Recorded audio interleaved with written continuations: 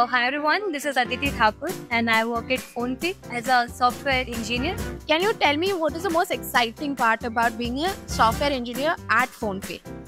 Okay, so uh, knowing me that I came from mechanical engineering background, I didn't have much to give in this software engineering thing, but I come to Crio and I learned things and I only knew that I wanted to develop some features so that I can show my parents everyone okay this uh, you see this thing this i developed i worked on it. So that was the thing which excites me the most that my work is visible and i can show to this uh, this to the people and it makes a difference. So, yeah. All right so this was the first ever can connect. How did you enjoy this evening? Yeah it was amazing. It was uh, like uh, now i know that there is a community i'm a part of and we all got each other's back. There are people and their stories we can get inspirations. It is good to have someone someone in the community and have a back that's i hope you have a great time today